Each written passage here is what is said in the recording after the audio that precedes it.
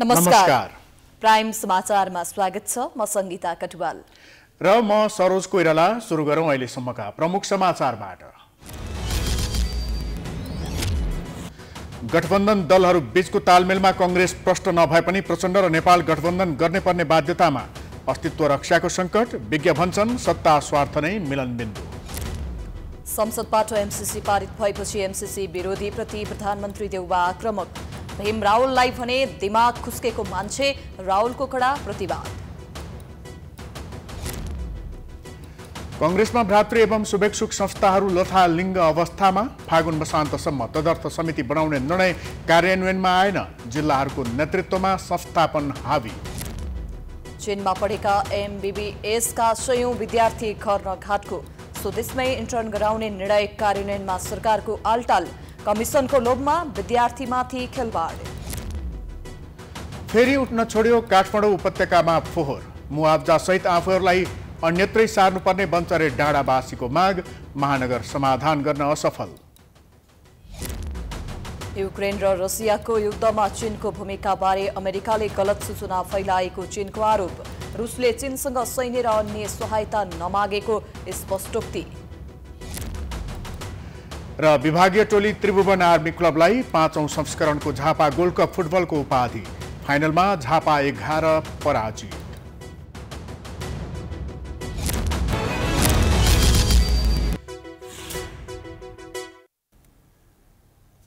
अब समाचार विस्तारमा। स्थानीय तह निर्वाचनमा तालमेल गरेर अघि बढ्न खोजिरहेका सत्तारूढ दलहरूमध्ये नेपाली कंग्रेसमा यस विषयमा एकमत देखिँदैन।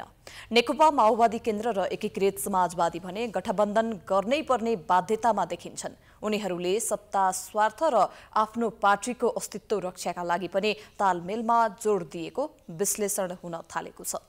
एक रिपोर्ट। काङ्ग्रेस र कम्युनिस्टहरूबीच स्पष्ट वैचारिक भिन्नता छ। कम्युनिस्ट पार्टीको गन्तव्य वैज्ञानिक समाजवाद हो भने काङ्ग्रेसको पुँजीवाद र प्रजातान्त्रिक समाजवाद। त्यस हिसाबले हेर्दा एमाले र माओवादी केन्द्र तथा एकीकृत समाजवादी पार्टीको तालमेललाई स्वाभाविक मान्न सकिएला तर यी दुई पार्टीको काङ्ग्रेससँगको सहकार्यलाई स्वाभाविक मान्न सकिन्न। विचार र सिद्धान्तमा समानता भएकै कारण यी तीनवटा कम्युनिस्ट पार्टीहरू एउटै दल नेकपामा थिए। तर चुनावी अङ्कगणितलाई ध्यानमा राखी काङ्ग्रेस र यी दुई कम्युनिस्ट पार्टी चुनावी तालमेलको तयारीमा छन्। तालमेलको तयारीमा रहेका यी तीन पार्टीहरूको बीच निरन्तर घोचपेच पनि चलि नै रहेको छ। त्यही तथ्यलाई ध्यानमा राखी नेपाली काङ्ग्रेसका सभापति तथा प्रधानमन्त्री शेरबहादुर देउबाले गठबन्धनका दलहरूलाई होच्याउने गरी नबोल्न काङ्ग्रेस नेताहरूलाई निर्देशन नै दिएका थिए। पछिल्लो पटक नेकपा एकीकृत समाजवादी पार्टीका सम्मानित नेता झलनाथ खनालले नै चुनाव जित्न काङ्ग्रेस बोरामा पैसा लिएर आउँछ भन्ने अभिव्यक्ति दिए। यस्तो विरोधाभासको बीचमा यी दलहरू बीचको चुनावी तालमेललाई कसरी हेर्ने त? राजनैतिक विश्लेषक खगेन्द्र प्रसाईका अनुसार यी दलहरू सिद्धान्तमा अलग अलग जस्ता देखिए पनि व्यवहारिक र वैचारिक रूपमा एउटै हुन्। सबै पुँजीवादी दलहरू हुन् त्यसैले यिनीहरूको गठबन्धनलाई अनौठो मान्नु पर्दैन। समाजवाद नै चाहने र पुँजीवाद चाहनेको बिचमा हुन्थ्यो भने कहिले पनि समाजवादी र पुँजीवादीको बिचमा गठबन्धन हुँदैन थियो हो एउटा चरणमा लोकतन्त्र ल्याउँ भन्ने तर्मा हुन्थ्यो अस्ति भयो नि जसरी। संसद विघटन पटक पटक भएपछि। त्यस कारणले यो गठबन्धनको चाहिँ यसलाई हामीले पोलिटिकल इकोनोमीको आधारमा हेर्नुपर्छ कि एउटा व्यक्ति एउटा नेताले चाहेको आज एउटा मेयर यता आउँछ अर्को मेयर उता जान्छ यो भइरहेछ नि। यो चाहिँ राजनैतिक वर्ग पक्षधरताको हिसाबले के फरक छ त? अहिलेका विद्यमान पार्टीहरूका बिचमा भन्दा केही पनि छैन। अनि त्यो नभएको हुनाले तपाईँलाई गठबन्धनको यता र उता गर्ने कुरा चाहिँ के छ भन्दा अनौठो नमान्नु होला। राजनैतिक विश्लेषक पुरञ्जन आचार्य पनि देशमा जुनसुकै दलको बीचमा हुने गठबन्धनलाई पनि अनौठो मान्नु नपर्ने बताउँछन्। उनका अनुसार नेपालका सबै दलहरू अहिले संसदीय प्रणाली मान्दछन् र उनीहरू पुँजीवादमा विश्वास गर्दछन्। त्यसैले जुन पार्टीले जोसँग तालमेल गर्दा पनि अनौठो मान्नु पर्दैन। काङ्ग्रेसको र कम्युनिस्टको सबै कुरा मिल्छ। समाजवाद लेख्छन् तर उदारवाद व्यवहारमा गर्छन्। होइन? साम्यवाद पनि भनिहाल्छन्। मार्सल लेनिनको फोटो टाङ्छन् तर चाहिँ गर्ने बेलामा चाहिँ अतिरिक्त पुँजीवादको चाहिँ होइन अत्यन्तै उदार पुँजीवादको चाहिँ काम चाहिँ गरिरहेको म देख्छु। त्यसै कारणले यताको तिन दशकमा नेपालमा वैचारिक भिन्नताका पार्टीहरू अब रहेनन्। वैचारिक भिन्नताका। वैचारिक भिन्नताको पृष्ठभूमि भएका पार्टीहरू चाहिँ छन् फेरि। फरक फरक सिद्धान्त भए पनि यी तीन दलहरू एउटा विशेष परिस्थितिमा गठबन्धन बनेको बताउँदै आएका छन्। केपी शर्मा ओलीले दुई दुई पटक प्रतिनिधि सभा विघटन गरेकाले संविधान र लोकतान्त्रिक प्रणाली बचाउन एउटै ठाउँमा आएको दावी गरिरहेका यी पार्टीहरूको चरित्रमा पनि तात्विक भिन्नता भने पाइएन। प्रचण्ड र नेपाललाई पार्टीको अस्तित्व रक्षाकै लागि भए पनि काङ्ग्रेससँगको सहकार्य जरुरी भएको बताइन्छ। जे होस् अहिले सत्ता स्वार्थकै लागि चुनावी तालमेलको तयारीमा रहेका यी दलहरू बीचको गठजोड कति सफल हुन्छ त्यो त भविष्यले नै बताउनेछ। प्राइम टाइम्स एचडीका लागि क्यामेरामा राजेश ढकालका साथ केशवराज जोशी काठमाडौँ। नेकपा माओवादी केन्द्रका अध्यक्ष पुष्पकमल दाहालले सत्ता गठबन्धनमा बलियो समझदारी भएकाले यो अटुट रहेको बताएका छन्। कैलालीको धनगढीमा आयोजित पत्रकार सम्मेलनमा बोल्दै अध्यक्ष दाहालले गठबन्धनभित्रका मूल नेतृत्व सबै गठबन्धनकै पक्षमा भएकाले कुनै समस्या नभएको बताएका हुन्। अध्यक्ष पहिलो जोड चाहिँ आफ्नै तागतमा निर्वाचन जित्ने गरी तयारी गरेर जानुपर्दछ। निर्वाचन लड्ने हाम्रो नीति हो। त्यसको साथै तालमेलको सम्भावना भयो भने हामी गठबन्धनका पार्टीहरूसँगको तालमेललाई नै प्राथमिकता दिएर जाने भन्ने पनि हाम्रो नीति छ। अध्यक्ष दाहालले आउँदो निर्वाचनमा आफ्नो पार्टी आफ्नै खुट्टामा उभिएर प्रतिस्पर्धा गर्ने पक्षमा भए पनि आवश्यक ठाउँमा तालमेल गर्न सकिने धारणा राखे। नेपाली कङ्ग्रेसका सभापति शेरबहादुर देउवाली गठबन्धन विरुद्ध नबोल्न निर्देशन दिएको स्मरण गर्दै उनले गठबन्धन झन बलियो भएको दावी गरे। अध्यक्ष दाहालले सुदूरपश्चिम प्रदेशमा नेपाली कङ्ग्रेसले पनि प्रतिनिधित्व खोजेको बताए।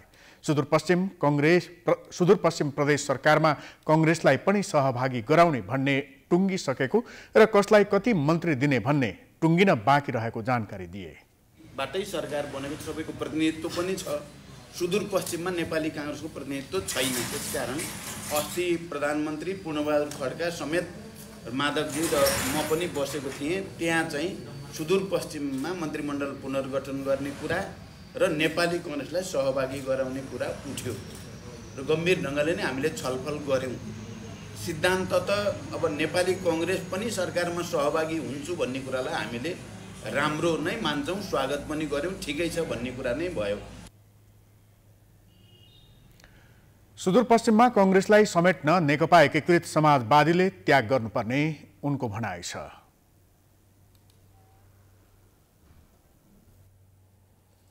स्थानीय निर्वाचन आउन दुई महिना बाँकी रहँदा दलहरू चुनाव केन्द्रित अभियानमा छन्। कंग्रेस नेतृत्वले निर्देशन नै दिएर सबै नेता कार्यकर्तालाई एमसीसी बारे भ्रम चिर्न उर्दी नै जारी गरेको छ। नुवाकोट पुगेका प्रधानमन्त्री एवं कंग्रेस सभापति शेरबहादुर देउवाले एमाले नेतृत्व र सांसद भीम रावलप्रति कडा आक्रोश पोखेका छन्। एमसीसी बारे भ्रम फैलाएको भनेर रुष्ट बनेका देउवालाई रावलले पनि जवाफ फर्काएका छन्। एक रिपोर्ट। नेपाली काङ्ग्रेसले आइतबारदेखि घर घर जाउँ काङ्ग्रेस जिताउँ अभियान सुरु गरेको छ। यसै क्रममा काङ्ग्रेस नेताहरू जिल्ला जिल्लामा छन्। प्रधानमन्त्री एवं नेपाली काङ्ग्रेसका सभापति शेरबहादुर देउवा सोमबार नुवाकोट पुगेका थिए। नुवाकोटको दुईवटा गाउँपालिकाको नवनिर्मित भवनको उद्घाटन गर्दै देउवाले एमसिसीको बचाउ गरे। उनले एमाले एमसिसीमा दोहोरो भूमिका निर्वाह गरेको आरोप पनि लगाए। देउवाको निशानामा परे सुदूरपश्चिमबाटै प्रतिनिधित्व गर्ने एमाले सांसद भीम रावल। भीमरावले के हेरेर बसे त्यस बेला अहिले किन विरोध गर्दैछन् यदि खराब थियो भने उसले राजीनामा गर्नु पर्थ्यो उसले खिलाफमा आउनु पर्थ्यो बाहिर अहिले किन भन्छ त्यस्ता दुई कुरा गर्न पाइन्छ आफू रक्षामन्त्री हुँदाखेरि पास गर्ने क्याबिनेटबाट पास गरेर संसदमा ल्याउने संसदमा पास गर्नुपर्छ भनेर उहाँले निर्णय गर्ने ल्याउने मैले ओलीजीले ल्याएको प्रस्ताव पास गर्नु खोज्दाखेरि किन टाउको दुख्ने किन विरोध गर्नु भएन? किन राजीनामा गर्नु भएन? सामाजिक सञ्जालमा सक्रिय रावलले पनि प्रधानमन्त्री देउवाले अभिव्यक्ति दिएको केही घण्टामै ट्विट गर्दै देउवाको अभिव्यक्तिको प्रतिवाद गरे। उनले प्राइम टाइम्स टेलिभिजनसँग कुरा गर्दै प्रधानमन्त्री देउवाले तथ्य तोडमोड गरेर प्रस्तुत गरेको भन्दै आपत्ति प्रकट गरे। म त्यति बेला मन्त्री नै थिइनँ। यो सार्वजनिक रूपमा सबैले बुझेको जानेको नजानेको भए पनि तथ्य हो त्यो। अनि जो व्यक्ति त्यत्रो ठुलो पदमा बसेर त्यस्तो तथ्यको विपरीत बोल्छ झुट बोल्छ। त्यो त्यो कुराले नै सम्बन्धित व्यक्तिको दिमाग खुस्केको भन्ने कुरा प्रश्न गर्छ। चुनावमा गठबन्धन आबद्ध दल र नेकपा एमाले बीचको राजनीतिक वाकयुद्धको पूर्वाभ्यासका रूपमा देउवा रावलको आरोप प्रत्यारोपलाई पनि लिन सकिन्छ। चुनाव केन्द्रित अभियानका लागि नेपाली कङ्ग्रेस गाउँ गाउँ पुगे पनि भ्रातृ एवं शुभेच्छुक संस्थाहरू भने लथालिङ्ग अवस्थामा छन्। फागुन मसान्तभित्र भ्रातृ संस्थाहरूको तदर्थ समिति बनाउने आफ्नै निर्णय कार्यान्वयनमा कङ्ग्रेस असफल देखिएको छ। एक रिपोर्ट। काङ्ग्रेसले भातृ एवं शुभेच्छुक संस्थाहरूको महाधिवेशन नगराएको भन्दै पार्टीभित्र र बाहिरबाट आलोचना भइरहेको छ। यही पृष्ठभूमिमा काङ्ग्रेसका शीर्ष नेताहरू भातृ सङ्गठन टुङ्ग्याउने विषयमा धेरै पटक बैठकमा बसे। फागुन तिन गते बसेको केन्द्रीय कार्य सम्पादन समितिले फागुन मसान्तसम्म भातृ संस्थाहरूको तदर्थ समिति बनाउने निर्णय गर्यो तर उक्त निर्णय कार्यान्वयन गराउन नेतृत्व असफल रह्यो। विविध कारणले निर्णय कार्यान्वयन गर्न नसकिएको काङ्ग्रेस नेताहरूको भनाइ छ भातृ संस्थाहरूको तदर्थ समिति कहिले बन्छ भन्ने प्राइम टाइम्स टेलिभिजनको जिज्ञासामा उपसभापति धनराज गुरुङले बीचको बाटो समाउँदै यथाशक्य छिटो भन्ने जवाफ दिए। हामीलाई यो एमसिसीको एजेन्डा राष्ट्रिय एजेन्डा भएको भने त्यसले अलिकति समय खायो अब एमसिसीले झन्डै हाम्रो दुई तिन हप्ता खाइदियो जसले गर्दाखेरि अब राष्ट्रिय एजेन्डा अगाडि आइसकेपछि अरू तपसिलका विषयहरू अलिकता चाहिने तपसिलमै रहन्छ। त्यसो भएकाले गर्दाखेरि तपसिलका विषयहरू तपसिलमा रहने अवस्था भयो। किन भन्दा डेट त तोकिएको थियो हामीले। कार्य सम्बन्ध समितिले तोक्यो डेटहरू। मिति हो त्यस कारणले गर्दाखेरि अब यसमा घरिघरि डेट तोक्नुभन्दा अब हामीले यथाशीघ्र यसलाई निम्टाएर गर्नुपर्छ निर्णय पुग्नुपर्छ उपसभापति गुरुङले एमसिसी अनुमोदन लगायतमा व्यस्त हुनुपर्दा पनि तदर्थ समिति बन्न नसकेको बताए फागुन तिन गतेको बैठकले सभापति देउबालाई नेपाल विद्यार्थी सङ्घ नेपाल तरुण दल नेपाल महिला सङ्घ लगायत दस भातृ संस्थालाई फागुन मसान्तभित्र एक वर्षको कार्यकाल राखेर तदर्थ समिति गठन गर्ने जिम्मेवारी दिएको थियो काङ्ग्रेसमा नेपाल विद्यार्थी सङ्घमा उमेर हद लगाउने वा नलगाउने भन्ने विषयमै विवाद छ। स्थापना कालदेखि नै हेर्दाखेरि नेभी सङ्घको हकबन्दी त्यतिखेरै कायमी छ। तपाईँको त्यतिखेर नै हाम्रो नेभी सङ्घको पहि संस्थापक विपिन कोइराला पनि सभापति हुँदाखेरि पनि नेभी सङ्घको हकबन्दी कति थियो उहाँ हुँदाखेरि चौबिस वर्ष नै थियो। चौबिस वर्षको उमेरमा उहाँ चाहिँ सभापति केन्द्रीय चाहिँ सभापति हुनुभएको थियो। अब अहिले पनि नेविसङको यही पछिल्लो समय ढिलो भइरहेको कारण मेन मुख्य कारण भनेको यो नेविसङको उमेरको कारणले गर्दाखेरि ढिलो भइरहेको चाहिँ एउटा समस्या छ। काङ्ग्रेसका दस भातृ संस्थामा सिङ्गो तदर्थ समिति नयाँ ल्याउनु पर्नेछ भने केही भातृ संस्थाहरूमा रिक्त पदमा मनोनयन गर्न बाँकी छ। किसान सङ्घको अधिवेशन हुन नसकेको झन्डै पन्ध्र वर्ष भइसकेको छ। नेपाल प्रेस युनियनले आइतबार मात्रै आगामी जेठ तेह्र र चौधका लागि हेटौँडामा महाधिवेशन तय गरेको छ। गत साउनमा काङ्ग्रेसका नौवटा भातृ सङ्गठनको कार्यकाल छ महिना तोकिएको थियो। जसअनुसार माघ मसान्तसम्म सबैको अधिवेशन भइसक्नुपर्ने हो तर अहिलेसम्म कुनैको तयारी समेत थालिएको छैन। राजनीतिक क्षेत्रका जानकारहरू माओ पार्टीलाई अझै व्यवस्थित बनाएर भातृ तथा शुभेच्छुक संस्थालाई सुधार्न ढिला भइसकेको बताउँछन्। पार्टीभित्रको गुट उपगुट तथा शक्ति सन्तुलनका कारण पनि भातृ सङ्गठन लथालिङ्ग बन्न पुगेको कतिपयको बुझाइ छ। यसैबीच नेपाली काङ्ग्रेसको चौधौँ महाधिवेशन अन्तर्गत सतहत्तरवटै जिल्लाको अधिवेशन सकिएको छ जसअनुसार दुई तिहाईभन्दा बढी जिल्लामा संस्थापन पक्षले जित हासिल गरेको छ।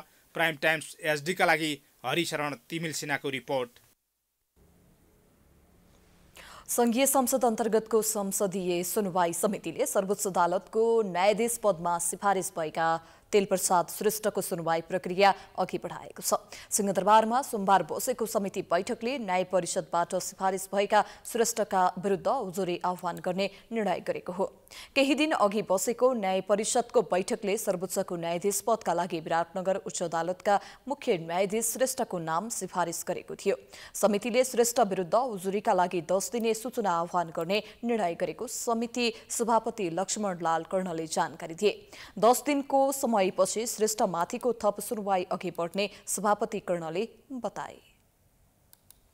आज सर्वोच्च अदालतका न्यायाधीशको पदमा न्याय परिषदद्वारा विराटनगरका उच्च अदालतका मुख्य न्यायाधीश तिल प्रसाद श्रेष्ठजीको नाम सिफारिस भएर आएको संसदीय सुनवाईको कार्यविधि अनुसार दस दिनको सूचना हामीले जारी जारी गर्नुपर्छ। जनरल पब्लिक लगायत सरोकारवालाहरूसँग। त्यो सूचना जारी गर्ने आज हामीले निर्णय गऱ्यौँ। अब भोलिदेखि सूचना जान्छ र दस दिनभित्रमा यो आएपछि त्यसपछि हामी बसिकन सुनवाईको काम प्रारम्भ गर्छौँ। सुनवाई समितिबाट प्रस्तावित नाम अनुमोदन भए राष्ट्रपतिबाट नियुक्त हुने संवैधानिक व्यवस्था रहेको छ।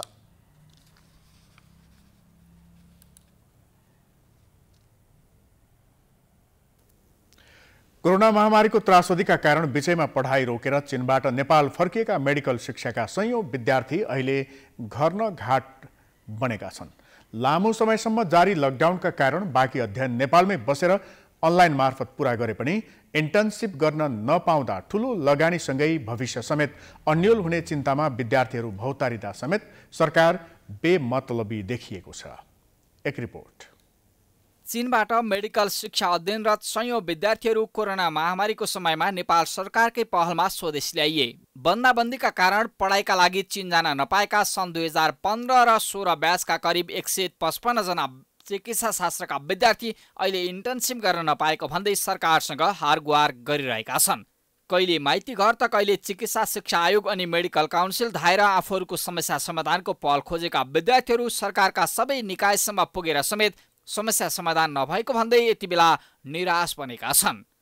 नेपाल मेडिकल काउन्सिल तथा शिक्षा शिक्षा आयोग अनि सम्बन्धित निकायहरूमा धाएको अहिले करिब करिब नौ महिनाभन्दा बढी भइसक्यो। सबभन्दा दुःख लाग्ने कुरा के आउँछ भन्दाखेरि एउटा नेपाली नागरिक भएर आफ्नै देशमा आफ्नो सपना पुरा गर्नको लागि घरिघरि उहाँहरूको अगाडि गएर हात जोड्ने खुट्टा समात्नेसम्म उहाँहरूले नब त्यस्तो त्यस्तो सृजना स्थिति सृजना गरिदिनुहुन्छ कि? त्यस्तो त्यति गर्दा पनि उहाँहरूले गर्नुहुन्न?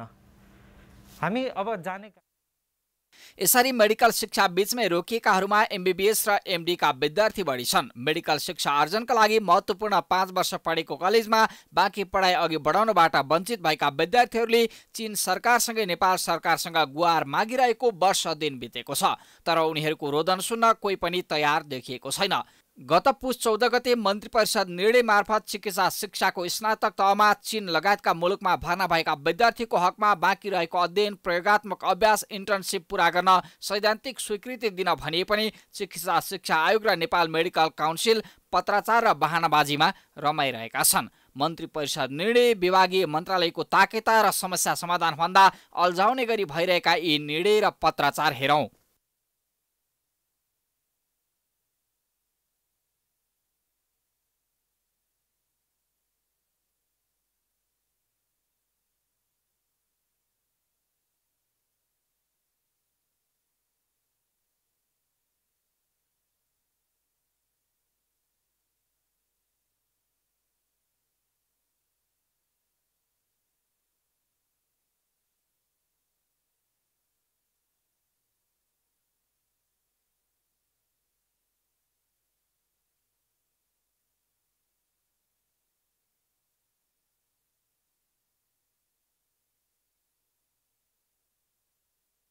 नेपाल बसेर गरिएको अनलाइन पढाइलाई काउन्सिलले मान्यता नदिएसँगै चीनमा लगभग पढाइ पुरा गरेका विद्यार्थीहरूले नेपालका निजी मेडिकल कलेजमा महँगो शुल्क तिरेर फेरि पढ्नुपर्ने बाध्यता आउने त होइन भन्ने आशंका समेत बढिरहेको छ। चिकित्सा शिक्षा पढ्दा पढ्दै कोरोना महामारीका कारण नेपाल आएर इन्टर्नसिप गर्न नपाएका विद्यार्थीहरूको गुनासो र लामो समयदेखिको शास्तिबारे जवाब माग्दा चिकित्सा शिक्षा आयोगका निर्देशक डाक्टर दिलीप कुमार शर्माले दिएको यो गैर जिम्मेवार प्रतिक्रिया सुनौ। शिक्षा मन्त्रालयमा सोधाउँछ। क्याबिनेटले निर्णय गरेको छ शिक्षा मन्त्रालयले यसलाई अगाडि बढाउनु पर्ने शिक्षा मन्त्रालयले तपाईँहरूलाई परिपत्र कहिले गरेको छ भन्दाखेरि चाहिँ होइन, म यो अड्डाको एन्सर दिने व्यक्ति होइन हजुर त्यति भने अर्को मिटिङमा छु सर। को र सर? अनि विद्यार्थीको यत्रो विषय छ सर। होइन? र डाक्टर श्रीकृष्ण गिरी उपाध्यक्ष हुनुहुन्छ उहाँलाई सोध्नुहोस् होइन होइन। तपाईँको जिम्मेवार छैन र सर हजुर? म छैन हजुर। म मेरो मेरो भन्दा त्यो कार्यकारी गरिसकेको छ निर्णय त्यो शिक्षा मन्त्रालयमा जोडिन्छ। नेपाल मेडिकल काउन्सिल भने यो समस्या आफ्नो नभई चिकित्सा शिक्षा आयोग र मन्त्रालयको भएको दावी गरिरहेको छ। रजिस्ट्रार कृष्ण अधिकारीले दिएको यो जवाफ पनि सुनौ। उताको विश्वविद्यालय र यताको विश्वविद्यालय मिलेर भन्ने निर्णय छ। तर यताका विश्वविद्यालय जसले मेडिसिन पढाउनुहुन्छ उहाँहरूको भनाइ के छ भने म एकदम सेचुरेट भइसकेँ। यसभन्दा थप विद्यार्थी पढाउन सकिँदैन भन्नुहुन्छ उहाँहरू। हेर्नु है अब अप्ठ्यारो। त्यो कुरो चाहिँ अड्केको चाहिँ त्यहाँ हो। सर यसो गर्छु नि मलाई हजुरलाई मैले रिक्वेस्ट के गरेँ भन्दाखेरि चाहिँ मलाई चाहिँ सुन्नु न अहिले मान्छे मतिर खनिएका छन् बुझ्नुभयो? यो किनभने हाम्रो कार्यक्षेत्रमा नपरे पनि खालि के भने त्यही काउन्सिलले अड्कायो पैसा पनि कृष्ण अधिकारीले दिए हुने होइन? उसैले नदिने हो भन्ने ढङ्गको रोशन छ। त्यही भएर म चाहिँ बोल्दिनँ तपाईँको टिभीमा। जानकारी चाहिँ दिन्छु सर। नेपालमा डाक्टर अभावका कारण एकजना चिकित्सकले तोकिएको आठ घण्टामा उन्तिसजना भन्दा बढी बिरामी हेर्नुपर्ने बाध्यता विद्यमान छ। तर सरकार मेडिकल शिक्षाका समस्या समाधानमा भन्दा अरू नै स्वार्थमा रमाइरहेको छ। नेपाल मेडिकल काउन्सिलको इन्टर्नसिप नियमको बुदा नम्बर तिनमा विदेशमा अध्ययन गरेर आएका एमबिबिएसका विद्यार्थीहरूले इन्टर्नसिप गर्न चाहे इन्टर्नसिप गर्ने अस्पतालको पूर्व स्वीकृति र अनुमति लिनुपर्ने प्रावधान छ। यस्तै विदेशमा पढेका विद्यार्थीले नेपालमा इन्टर्नसिप लिनुपर्ने आफूले अध्ययन गरेको विश्वविद्यालय र नेपाल मेडिकल काउन्सिलको पूर्व स्वीकृति लिनुपर्ने प्रावधान राखेर समेत झन्झट बढाइएको भन्दै चर्को आलोचना हुँदा समेत सरकार र सरोकारवालाहरू तैचुप मैचुप छन्। आखिर किन? समाचारको सिलसिला अझै जारी छ। हामी विश्रामपछि आउँछौँ। कि समाचारको साथमा। विश्रामपछि पुनः स्वागत छ। अब बाँकी समाचार। नेकपा एमालेका उपाध्यक्ष विष्णु पौडेलले प्रचण्ड र माधव कुमार नेपाल कम्युनिष्ट आन्दोलनको मुख्य खलनायक भएको आरोप लगाएका छन्। सोमबार नेकपा एमाले बटोल उपमहानगर कमिटीले आयोजना गरेको स्थानीय तह निर्वाचन केन्द्रित प्रशिक्षण तथा अभिमुखीकरण कार्यक्रममा बोल्दै उपाध्यक्ष पौडेलले नेपालको कम्युनिष्ट आन्दोलनलाई कमजोर बनाउन अदालतलाई समेत दुरुपयोग गरेको आरोप लगाए। उपाध्यक्ष पौडेलले नेकपा एमालेलाई फुटाउन देशी विदेशी प्रतिगामी शक्तिहरू लागेको बताउँदै प्रचण्ड र माधव कुमार नेपाल प्रतिगामी शक्तिहरूको मतियार बनेको जिकिर गरे। उनले वामपन्थी शक्तिको सरकार गिराएर कङ्ग्रेसको पछि लागेका प्रचण्ड र माधव कुमार नेपालले नेपालको कम्युनिष्ट आन्दोलनमा धेरै ठूलो अपराध गरेको बताए।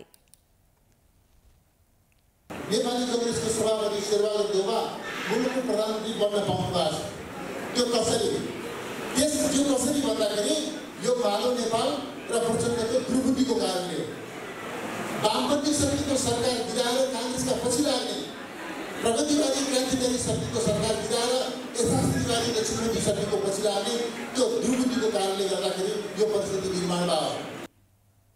उपाध्यक्ष पौडेलले नेकपा एमाले देश र नेपाली जनताको समृद्धि विकास चाहेको उल्लेख गर्दै जनताले आगामी चुनावमा प्रतिफल दिने बताए।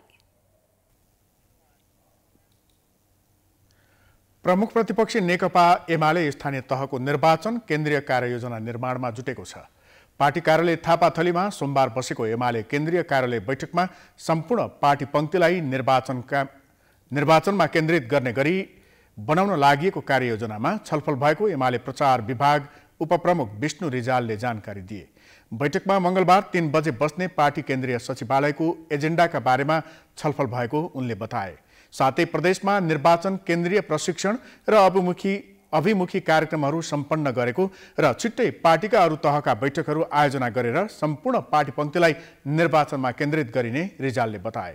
त्यस्तै उनले पोलिट ब्युरो तथा केन्द्रीय कमिटी बैठकको तयारीका बारेमा पनि छलफल भएको जानकारी दिए।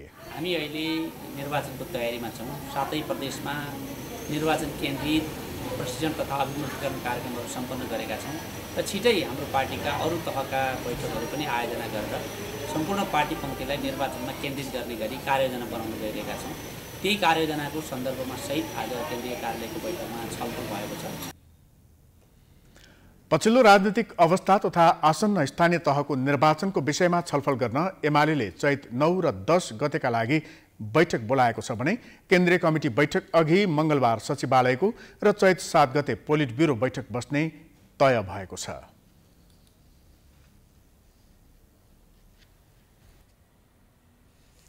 जनता समाजवादी पार्टीले संघीय परिषद अध्यक्ष बाबुराम भट्टराई अध्यक्ष उपेन्द्र यादव र वरिष्ठ नेता अशोक राई रहेको हेडक्वार्टर गठन गरेको छ।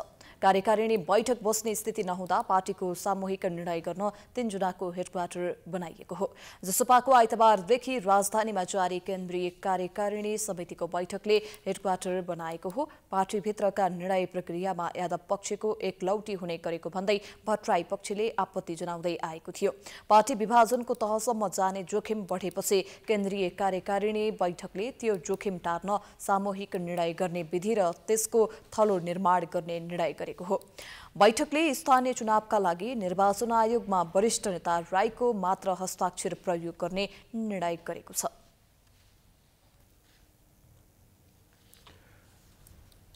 मोहन वैद्य नेतृत्वको नेकपा क्रान्तिकारी माओवादीले आगामी वैशाख तिस गते हुने स्थानीय चुनाव बहिष्कार गर्ने निर्णय गरेको छ। फागुन पच्चिस गतेदेखि उन्तिस गतेसम्म सम्पन्न भएको पार्टीको केन्द्रीय समिति बैठकले सो निर्णय गरेको हो। महासचिव मोहन वैद्य किरणको अध्यक्षतामा बसेको बैठकले सात बुँदे निर्णय लिएको आज जारी प्रेस वक्तव्यमा उल्लेख छ। पार्टीको क्रान्तिकारी छवि चुनाव उपयोगबाट भन्दा बहिष्कारद्वारा नै समुज्जल हुने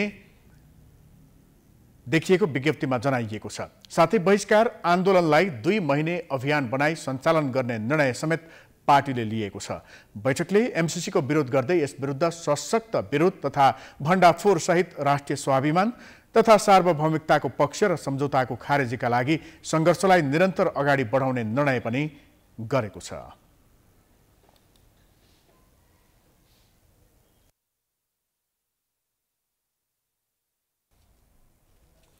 काठमाडौँ उपत्यकाको फोहोर व्यवस्थापनमा सधैँ जसो समस्या आइरहन्छ।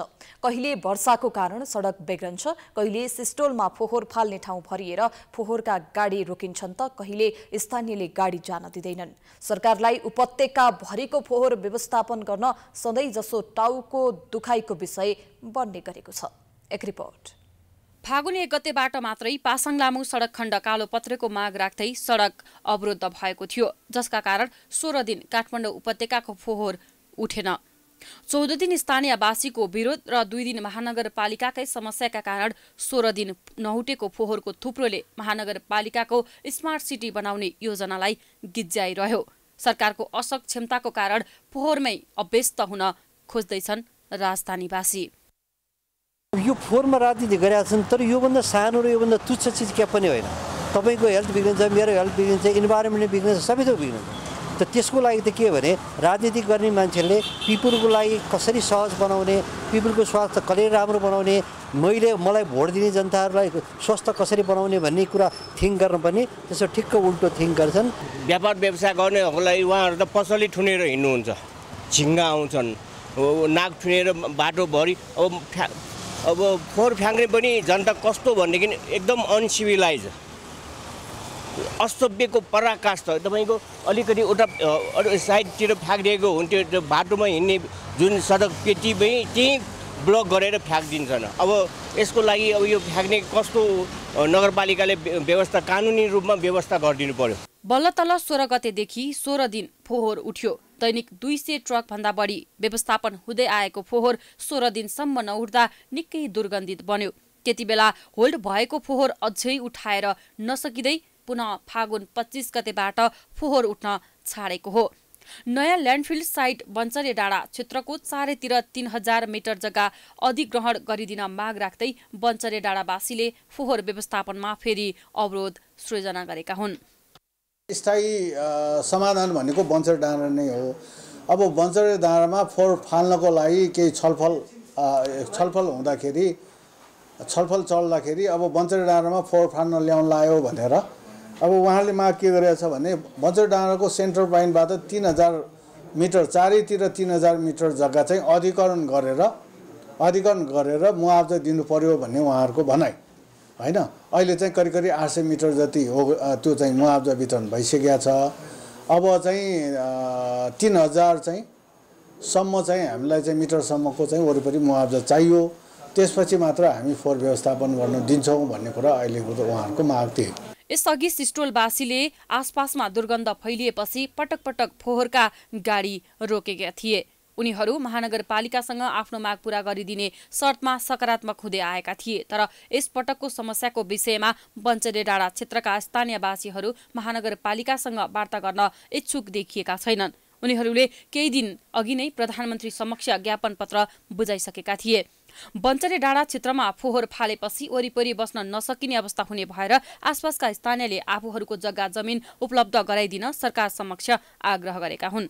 सरकारले दुई हजार बैसठी सालमै तीन वर्षभित्र बन्चरे डाँडाको पूर्वाधार तयार पारेर दुई हजार पैँसठी सालबाट फोहोर व्यवस्थापन गर्ने लक्ष्य लिएको थियो। तर एघार वर्ष बितिसक्दा पनि बन्चरे डाँडाको पूर्वाधार पूर्ण रूपमा तयार हुन सकेको छैन।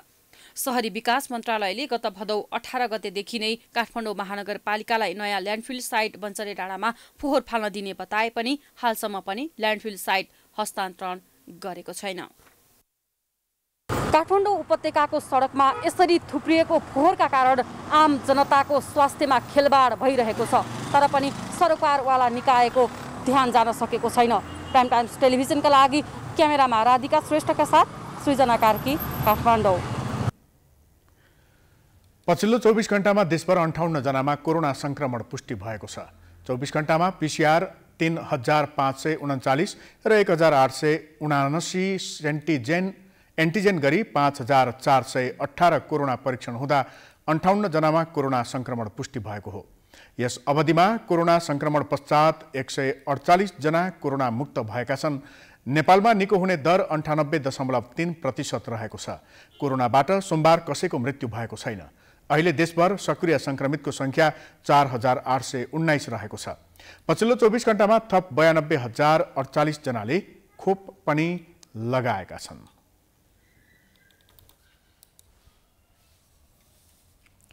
गायक प्रकाश सपुतले सिर्जना गरेको पेर बोलको गीत यति बेला चर्चामा छ।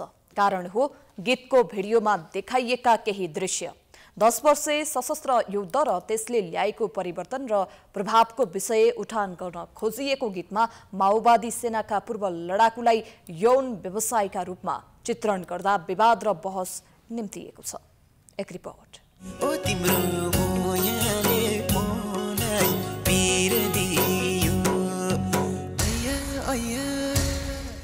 यही दृश्यले प्रकाश सपुतको गीत पिरलाई पिर पारेको छ। युट्युबमा करिब पैँतालिस लाख पटक हेरिएको यस गीतमा अधिकांश प्रतिक्रिया सकारात्मक भए पनि माओवादी नेता तथा कार्यकर्ताले भने यसलाई नियतवश जनयुद्धलाई गलत देखाउन खोजिएको आरोप लगाएका छन्। उनीहरूलाई गीतका शब्द र केही दृश्यप्रति भने कुनै समस्या नभएको बताउँछन्। पूर्व लडाकुले अहिले यौन व्यवसाय नै गर्छन् भनेर बिम्बमा देखाउन खोजिएको विषय सत्य नभएको र सत्यता नभएको विषय बिम्ब नहुने तर्क गर्छन्। माओवादीका भातृ सङ्गठन वाइसिएलका इन्चार्ज दिपशिखा। प्रकाश सपुतले पिर गीत सिर्जना गर्दाखेरि र खास गरी भिजुअलमा हामी जो लडेर आयौँ तिनीहरूको असहमति छ। र भिडियो भिजुअल मिक्सिङ अथवा भिजुअल कन्स कन्सेप्टमा गएर खास गरी हाम्रो संवेदनामाथि ख्याल विचार नपुर्याएको प्रति हाम्रो आपत्ति छ र असहमति छ। गायक अथवा सर्जकले स्वतन्त्र रूपमा गीत सङ्गीतको सिर्जना गर्न पाउने जनवादी गायक प्रदीप देवान बताउँछन् तर पूर्वाग्रही भएर सिर्जना गर्न नहुने उनको भनाइ छ। उनले प्रकाश सपुतको यो गीत कसैको पूर्वाग्रहमा बनाइएको दावी गर्छन्। कला भनेकै तपाईँको बिम्बमा खेल्ने हो। होइन? तर बिम्बमा खेल्दाखेरि के गर्ने भन्ने हुन्छ? अब जहाँसम्म यो अब प्रकाश सपुत भाइले जुन गीत निकाल्नु भएको छ त्यसमा चाहिँ अलिकति राजनीतिक पूर्वाग्रह देखिन्छ। विशुद्ध माओवादी विरुद्ध माओवादीलाई सिद्धाउने खालको देखिन्छ। किनभने जुन त्यो दृश्य गीत र अरू परिकल्पनामा त्यो समस्या छैन। जुन दृश्य देखाइएको छ एउटा पूर्व माओवादी चाहिँ अहिले वेश्यविधि गरिरहेको भन्ने देखाएको छ। त्यो शत प्रतिशत झुट हो। उता दृश्यमा पूर्व लडाकु र यौन व्यवसायको रूपमा देखाइएकी पात्रले उक्त दृश्यले समाजको केही यथार्थलाई बोकेको बताउँछिन्। उनले माओवादी सशस्त्र द्वन्द र त्यसको परिवर्तनलाई पनि गीतमा समेटिएकाले यही विषयमा विवाद गर्न नहुने बताइन्। उनी पूर्व जनवादी कलाकार समेत हुन्। आज फिल्ममा एउटा बेडको सिन र नङ्ग एउटा बेडको सिन गरिराख्न चाहिँ हुने गीतमा हामीले त्यहाँनिर केही छैन नि। केही छ? छैन नि। त्यो हल्का त्यो एउटा सानो क्लिप राख्न चाहिँ नमिल्ने फर्स्ट एउटा कुरा। सेकेन्ड कुरा चाहिँ तपाईँहरूले हामीले डाइरेक्ट छापामारको महिलाहरू यो गरिरहेछौँ है भन्नलाई सन्देश दिन खोजे पनि होइन नि त। एउटा त हाम्रो समाजमा रहेको एउटा यथार्थ घटनालाई हामीले उत्थान गर्न खोजे मात्र त हो नि। होइन र त्यो भएको बेला फर्स्ट अफ अल तपाईँहरूले त्यो हिसाबले नबुझिदिनु होला। यता गीत गायक तथा निर्देशक प्रकाश सपुतले उक्त गीत विवादमा आएको दुई दिनपछि प्रतिक्रिया दिएका छन्। उनले सामाजिक सञ्जाल फेसबुकमा स्टाटस लेख्दै आफूले देखेका र सङ्गत गरेका व्यक्तिहरूलाई नै आधार बनाएर गीतको विषयवस्तु बनाएको र यसमा सम्बन्धित पक्षको आत्मसम्मानमा चोट पुगेको भए माफी दिन आग्रह गरेका छन्। साथै उनले कसैले यस विषयलाई नियतवश उक्साएर वा निरन्तर निरुत्साहित गरेर एउटा सर्जकलाई दुविधामा नपार्न पनि आग्रह गरेका छन्। यातायात व्यवस्था विभागले सवारी चालक अनुमति पत्रको अनलाइन आवेदन प्रणाली बन्द गर्ने भएको छ। आज सार्वजनिक सूचना निकाल्दै विभागले अहिलेसम्म परेका अनलाइन आवेदनको कारबाही जति सक्दो चाँडै टुङ्ग्याउनु पर्ने भएकाले भोलिबाट आवेदन बन्द गरिएको जनाएको छ। अहिलेको प्रविधिले भार थेक्न नसकेकाले नयाँ प्रविधि सहित आउने विभागले जनाएको छ। अर्को सूचना प्रकाशन नभएसम्मका लागि सवारी चालक अनुमति पत्रले अनलाइन प्रणाली बन्द हुने विभागका प्रवक्ता समेत रहेका निर्देशक डाक्टर लोकनाथ भूषालले जारी गरेको विज्ञप्तिमा उल्लेख छ। विभागले सेवाग्राहीको असुविधाप्रति क्षमा पनि मागेको छ।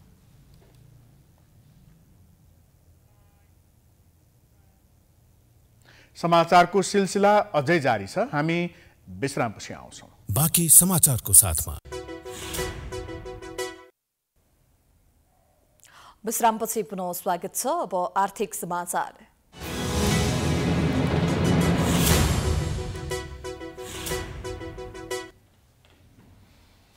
नेपाल विद्युत प्राधिकरणको पोल भाडा विवाद फेरि पल्झिएको छ। प्राधिकरणले पटक पटक सूचना जारी गर्दा समेत पोलको लाखौं रुपियाँ भाडा नतिरेको भन्दै इन्टरनेट र केबल टेलिभिजनको लाइन काट्ने चेतावनी दिएको छ। सम्झौता गर्ने तर सम्झौता बमोजिम पोल प्रयोगकर्ताले रकम तिर्न अटेर गरेपछि प्राधिकरण फेरि लाइन काट्ने निष्कर्षमा पुगेको हो। यसले इन्टरनेट र टेलिभिजनका सेवा लिने उपभोक्ता भने मारमा पर्ने भएका छन्। एक रिपोर्ट। नेपाल विद्युत प्राधिकरणले पटक पटक सूचना प्रकाशित गरेर पोल प्रयोग गर्ने इन्टरनेट सेवा प्रदायक र केबल टेलिभिजनहरूलाई पोल प्रयोग गरे बापत भाडा तिर्न सचेत गराउँदै आएको छ। यसअघि असोजमा प्राधिकरणले लामो समयसम्म पोलको भाडा नतिरेको भन्दै इन्टरनेटको तार काटेको थियो। पछि विद्युत प्राधिकरण ऊर्जा जलस्रोत तथा सिँचाइ मन्त्रालय र प्रयोगकर्ता बीच कार्तिकभित्र पोलको भाडा तिर्ने सम्झौतासँगै ताकेता गरिएको थियो। तर सम्झौता बमोजिम पोल प्रयोगकर्ताले रकम नतिरेको भन्दै प्राधिकरणले पुनः जुनसुकै बेला लाइन काटिदिने चेतावनी दिएको हो। देशभरका सेवा प्रदायकहरूको तथ्याङ्क सङ्कलन भइरहेको भन्दै प्राधिकरणले पोल सित्तैमा प्रयोग गर्ने छुट कोही कसैलाई नहुने र प्राधिकरणलाई कमजोर नठान्न पनि सचेत गराएको छ। प्राधिकरणको अनुरोधलाई बेवास्ता नगर्न प्राधिकरणले भनेको छ। कारवाही त हामीले लाइन काट्छौँ। होइन त्यो अहिले हामी त्यसै पनि जिम्मेवार संस्था भएको हुनाले हामीलाई के थाहा छ भने यो काट्दाखेरि फेरि पब्लिकलाई नै सेवामा असर पर्ने भएको हुनाले हामीले धेरै गम्भीरतापूर्वक सोचिरहेका छौँ होइन। तर अब हामीलाई उहाँहरूले धेरै हामीले गरेको अनुरोधलाई हामीले निकालेका सूचनाहरूलाई उहाँले वास्ता गर्दै जानु भएन भने प्राधिकरणले एउटा निर्णय गर्छ। नयाँ सेवा प्रदायक भन्दा पनि पुराना सेवा प्रदायकहरूले तिर्नुपर्ने पोलको भाडा नतिरेको प्राधिकरणले जनाएको छ आम उपभोक्तालाई मर्का नपरोस् भन्ने हेतुले सूचना मार्फत सेवा प्रदायकलाई बारम्बार अनुरोध गर्दा समेत पोल भाडा तिर्न उनीहरू तत्पर नदेखिएको भन्दै प्राधिकरणले बाध्यकारी अवस्था चाल्न पर्ने स्थिति नबनाउन सचेत गराएको छ। सधैँ यसै गरी अटेर गरिरहे केही मिनटमै देशभरको लाइन काट्न सकिने प्राधिकरणको दावी छ। राष्ट्रिय सम्पत्तिको दुरुपयोग गर्छु भनेर नसोच्न सचेत गराउँदै प्राधिकरणले उपभोक्ताबाट सेवा शुल्क लिएर भाडा बापतको रकम नदिनु गैर जिम्मेवारीपना भएको जनाएको छ। हालसम्म सबैले आफूले प्रयोग गरेको पोलको जानकारी गरेर भाडा तिर्न प्राधिकरणले भनेको छ। सरकारले निर्धारण गरेको भाडा तिर्न विनम्रता साथ गरेको सूचनालाई वास्ता नगरे चुप लागेर नबस्ने प्राधिकरणको भनाइ छ। बक्यौता नतिर्नेलाई नियम कानुन अनुसार कारवाही गरिने प्राधिकरण बताउँछ। इन्टरनेट सर्भिस र केबल टिभीवाला जसले प्रयोग गरिराख्नु भएको छ उहाँहरूले त प्रत्येक उपभोक्ताबाट त सेवा बापत त शुल्क उठाइराख्नु भएको छ। खालि उहाँहरूले राज्यलाई मात्र नतिरेको। त्यो भएको हुनाले राज्यको पूर्ण स्वामित्वको संस्थाले त सधैँ चुप लागेर बस्ने कुरा त आउँदैन। नियम र कानुनभित्र जुन एउटा हाम्रो नियम छ कानुन छ होइन बक्यौताहरू नतिर्नेलाई हामी त्यही अनुसार हामी मुभ गर्छौँ। केही सेवा प्रदायक बाहेक अधिकांशले पोलको भाडा नतिरेको प्राधिकरणले जनाएको छ।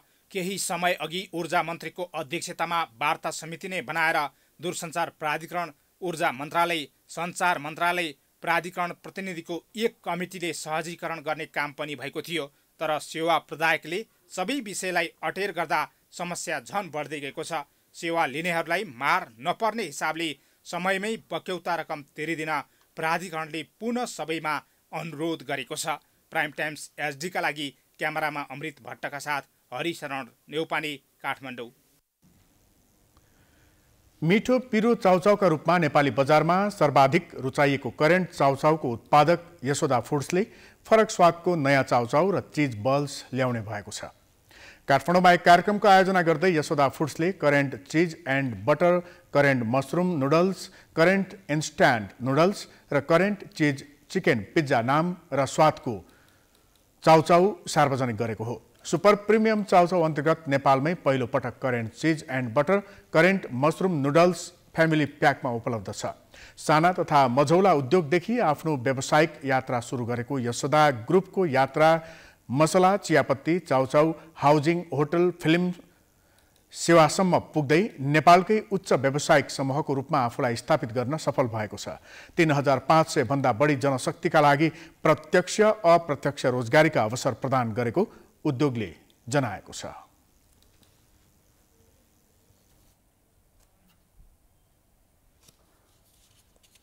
भारतको ब्रान्ड किडजेले नेपालमा पनि सेवा विस्तार गरेको छ। राजधानीमा आज आयोजित कार्यक्रम कार्यक्रममा किडजेद्वारा दुई हज़ार बाइसमा दुई नयाँ सेवा सञ्चालन गर्ने बारे जानकारी दियो।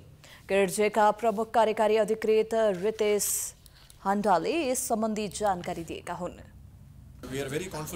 uh, our uh, new launch, our new products, our new services, our new child kits, everything which is now uh, upgraded and whatever each and every child in India gets to uh, uh, gets to study from, every child in Nepal will also get to study from. किड्जे भारतको सबभन्दा व्यापक रूपमा विस्तार हुँदै गएको प्रारम्भिक बाल्यकाल हेरचाह र शिक्षाको चेन हो सात सय पचासभन्दा बढी भारतीय सहर र नेपालका चार हजार दुई सय भन्दा बढी केन्द्रहरूको सञ्जालका साथ किर्जेवाल विकासको नेतृत्व गर्न प्रतिबद्ध रहेको कार्यक्रममा जानकारी गराइयो। किर्जेले सन् दुई हजार पन्ध्रबाट नेपालमा आफ्नो सेवा सुरु गरेको थियो र चारवटा जिल्लामा नौवटा फ्री स्कुलको प्री स्कुलको नेटवर्कसँग काम गरिरहेको छ।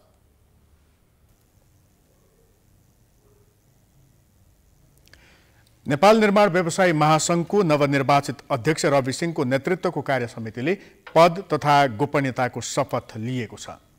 सोमबार काठमाडौँमा एक कार्यक्रमका बीच निर्वाचित अध्यक्ष पदाधिकारी र कार्य समिति सदस्यहरूलाई निर्वाचन समितिले पद तथा गोप गोपनीयताको शपथ गराएको हो। शपथ लिँदै महासङ्घका नवनिर्वाचित अध्यक्ष सिंहले निर्माण व्यवसायको हित अनुरूप ऐन नियमावलीको संशोधन र निर्माण क्षेत्रमा भएको मूल्य वृद्धि कम गराउन सरकारसँग सहकार्य गरेर तत्काल कार्य थाल्ने बताएका छन्। पहिलो काम सार्वजनिक खरिद नियमावलीलाई सही रूपमा चाहिँ कार्यान्वयन गराउने त्यसको कार्यविधि बनाउने।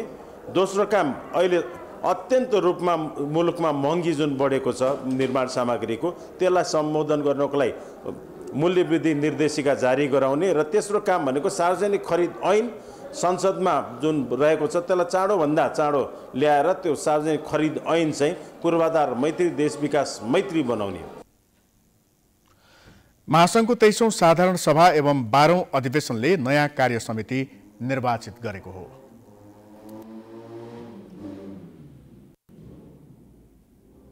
अब अन्तर्राष्ट्रिय समाचार।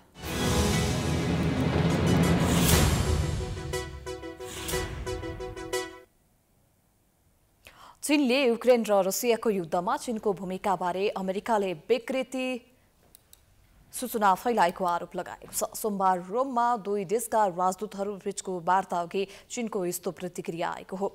रुसले चीनसँग सैन्य र अन्य सहायता मागेको अमेरिकी अधिकारीहरूको आरोपको पनि चीनले खण्डन गरेको। चिनिया विदेश मन्त्रालयका प्रवक्ता झाओ लिजियानले अमेरिकाले युक्रेन मुद्दामा चीनलाई लक्षित गरी गलत सूचना फैलाएको बताएका हुन्। यसअघि रुसले चीनसँग सैन्य र अन्य सहायता माग गरेको अमेरिकी अधिकारीहरूले आरोप लगाएका थिए। वासिङटनमा रहेको चिनिया राजदूतावासले भने त्यस्तो मागबारे थाहा नभएको बताएको छ। विभिन्न अन्तर्राष्ट्रिय सञ्चार माध्यमका अनुसार अमेरिकाले रुसलाई सहायता गरेमा चीनले त्यसको दुष्परिणाम भोग्ने चेतावनी दिएको छ। चीन र अमेरिका बीच सोमबार वार्ता हुने बताइएको छ। अब खेलकुद समाचार।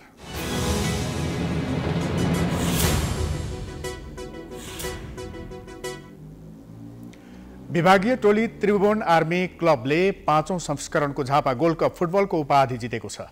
बिर्तामोड स्थित डोमालाल राजवंशी रङ्गशालामा सोमबार घरेलु टोली झापा एघारलाई दुई एक गोल अन्तरले हराउँदै आर्मी च्याम्पियन बनेको हो। आर्मीलाई जित दिलाउन टेक बहादुर बुढाथोकी र जर्ज प्रिन्स कार्कीले एक एक गोल गरे। झापाका विमल घर्ती मगरले एक गोल फर्काए। आर्मीले चौथो पटक झापा गोल्ड कपको उपाधि जितेको हो। यस्तै आर्मीले लगातार तेस्रो पटक जित्दै उपाधिमा ह्याट्रिक गरेको छ। यसअघि दोस्रो तेस्रो र चौथो संस्करणमा झापालाई नै हराउँदै आर्मीले उपाधि चुमेको थियो। उपाधिसँगै आर्मीले नगद बाह्र लाख पचपन्न हजार प्राप्त गरेको छ। उपविजेता बनेको झापाले छ लाख पाँच हजार रुपियाँ प्राप्त गरेको छ। झापा पाँचौँ पटक उपविजेता बनेको हो।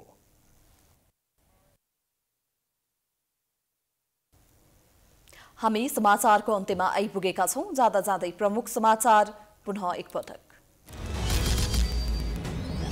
गठबन्धन दलहरू बीचको तालमेलमा कङ्ग्रेस प्रष्ट नभए पनि प्रचण्ड र नेपाल गठबन्धन गर्नै पर्ने बाध्यतामा अस्तित्व रक्षाको सङ्कट विज्ञ भन्छन् सत्ता स्वार्थ नै मिलन बिन्दु। संसदबाट एमसिसी पारित भएपछि एमसिसी विरोधी प्रति प्रधानमन्त्री देउवा आक्रामक। भीम रावललाई भने दिमाग खुस्केको मान्छे रावलको कडा प्रतिवाद। कङ्ग्रेसमा भातृ एवं शुभेच्छुक संस्थाहरू लथालिङ्ग अवस्थामा फागुन मसान्तसम्म तदर्थ समिति बनाउने निर्णय कार्यान्वयनमा आएन। जिल्लाहरूको नेतृत्वमा संस्थापन हावी। चीनमा पढेका एमबिबिएसका सयौं विद्यार्थी घर न घाटको अवस्थामा। स्वदेशमै इन्टर्न गराउने निर्णय कार्यान्वयनमा सरकारको आलटाल कमिसनको लोभमा विद्यार्थीमाथि खेलवाड। फेरि उठ्न छाड्यो काठमाडौँ उपत्यकामा फोहोर मुआब्जा सहित आफूहरूलाई अनन्तरै सार्नुपर्ने बन्चरे डाँडावासीको माग महानगर समाधान गर्न असफल। युक्रेन र रसियाको युद्धमा चीनको भूमिकाबारे अमेरिकाले गलत सूचना फैलाएको चीनको आरोप। रुसले चीनसँग सैन्य र अन्य सहायता नमागेको स्पष्टोक्ति र विभागीय टोली त्रिभुवन आर्मी क्लबलाई पाँचौं संस्करणको झापा गोल्ड कप फुटबलको उपाधि फाइनलमा झापा एघार पराजित।